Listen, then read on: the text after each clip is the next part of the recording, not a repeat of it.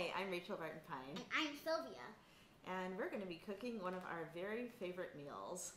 Um, peanut butter mush, which has been um, renamed for this occasion. Peanut butter delight.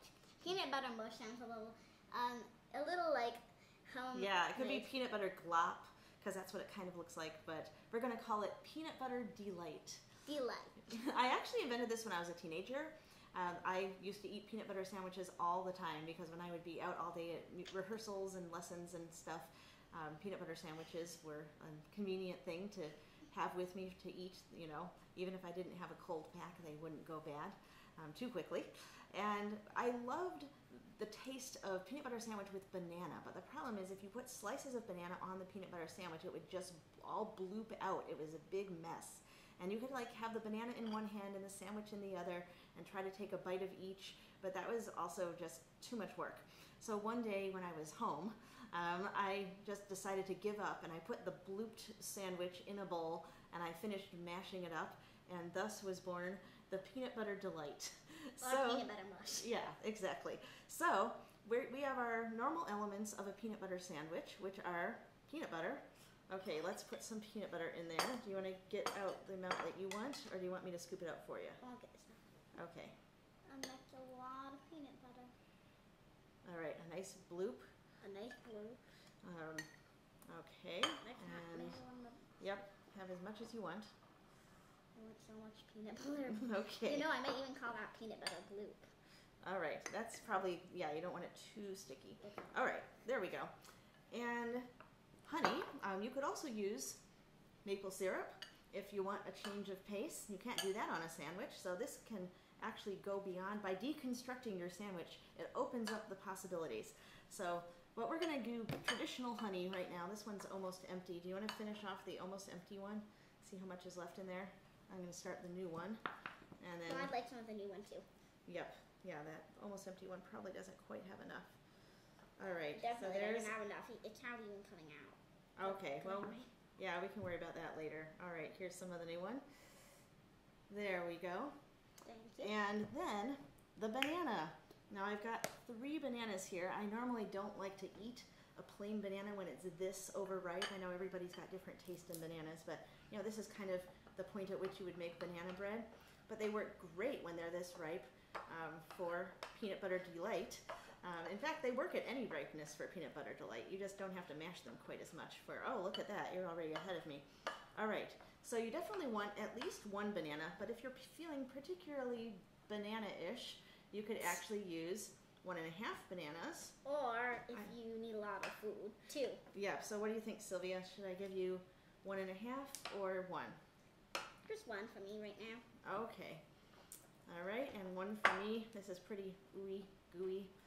Yeah, this is really Luckily, cool. I thought ahead and I brought a peanut butter sandwich um, wash up to the table with this paper towel. Well, I'm having right. a little time with this, and my fingers haven't gone any. Okay, so now we have to mush it up. Um, yep, just smash it with the spoon, stir it up, and then you can actually add some cinnamon. So, you want to put in your own cinnamon? After I finish this banana. Okay, and you can even use like other cake spices, um, like I don't know, allspice, cardamom, cardamom? cloves. Cardamom. Cardamom, that's right. you, you literally just said cardamom. Well, it is called cardamom. Um, Wait, really? Cardamom? Yes. Anyways, my favorite is nutmeg. Maybe that's because it's such an 18th century thing, like dash of nutmeg in your mulled wine. But anyways, I'm going to put just very sparingly, because it's pretty strong, little nutmeg in mine. Um, oh yes, so put in as much cinnamon as you want. Uh, now that we've got our basic mash, I'm going to say mash because it sounds better than mush, um, this mash ready to go, now it's time to add in the grain. Now when I first started making deconstructed sandwiches, I thought, well, sandwich, that means slices of bread.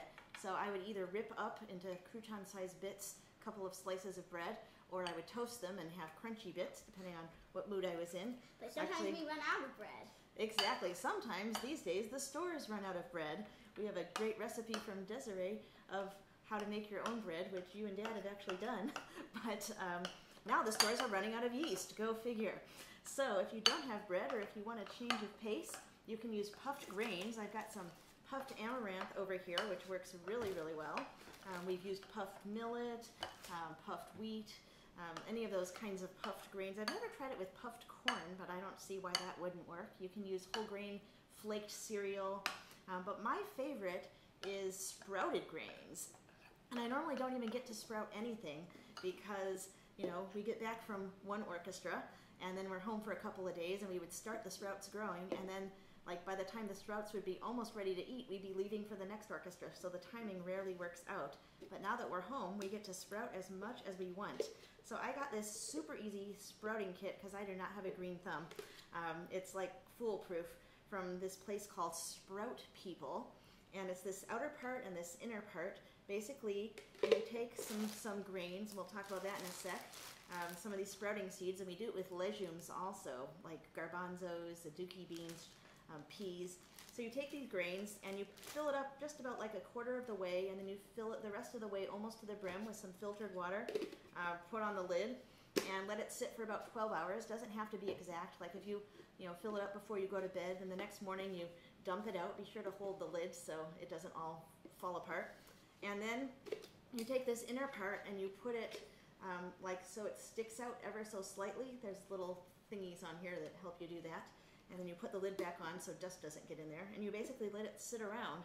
Um, and it gets hairier and hairier as the sprouts are growing. So now we have these very hairy grains. You want to grab a handful of those? Harry, um, Harry, Harry. Yep, hairy grains. They're so cool.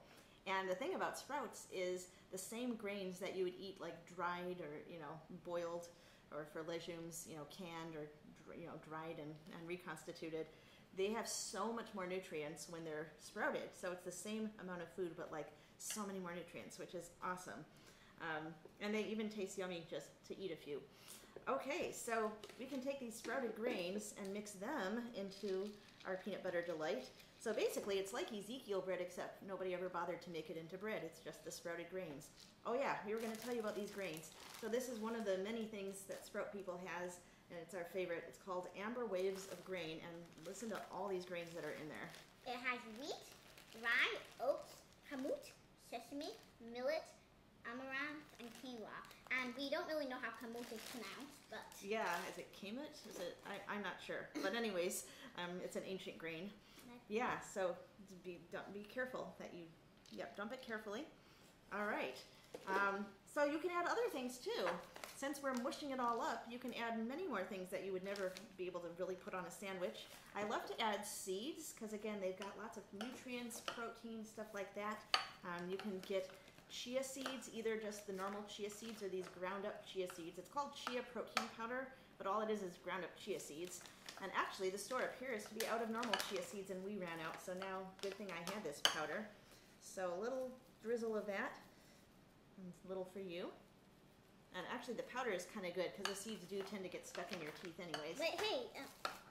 All right, and then we've got um, ground up flax or normal flax seeds. Which kind do you want? The ground up flax or the normal flax seeds? Um. Pick quick. normal. Okay, normal flax normal. seeds it is. All right, so grab a pinch of those. You can add that. Stir it up. And it's like dangling together. Yep. How could that be? I don't know. You could add sesame seeds. You could add hemp. Hemp has a very distinctive and strong taste. I happen to love it. I also love the fact that it's complete protein. It's like one of the healthiest things that you can add to your diet or your kid's diet.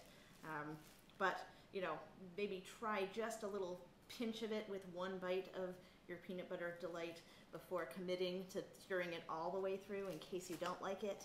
Um, well, there was only smooth peanut butter at the store when we went to the store, and we normally like the crunchy variety. So luckily, I have some some actual peanuts here, so we can add a few of those for some added crunch. These are these really awesome um, organic raw wild jungle peanuts. They're supposedly from Brazil, and they're like the ancient variety of peanuts from which modern peanuts were derived. They look really cool. They're like this beautiful dark brown. They're, they're stripy basically, which is pretty funky. Like this. Yep. Do you want any in your mix? no. All right. You could even add other nuts. Maybe you could add- sprinkle in some walnuts. Actually, you don't even have to use peanut butter. You could use almond butter or whatever you feel like. Um, and you can even add other kinds of fruit. Well, of course, peanut butter and jelly is a thing. You could make this with jelly instead of the maple syrup or honey. You could add some blueberries. You could add some raisins. Where did my raisins go? I'm not sure where my raisins went. But anyways, um, you can really be creative with it. And well, you're already eating it, aren't you? No, I haven't. I only Oh. ate a peanut. Oh, okay. Well, do you want to take a bite? See how your mush turned out? Yeah, may I have a, little, a few blueberries? Oh, definitely. All right, so let's put some of those blueberries in there. Yum. Get the stem off of that one. Okay, well, that's all I can think of to tell you. It's not necessarily the most aesthetic looking thing in the world. It kind of looks like, you know, brown glop, but it tastes like dessert and it has all the nutrients of a full meal with your protein and your whole grains and all kinds of good stuff. So I hope you enjoy.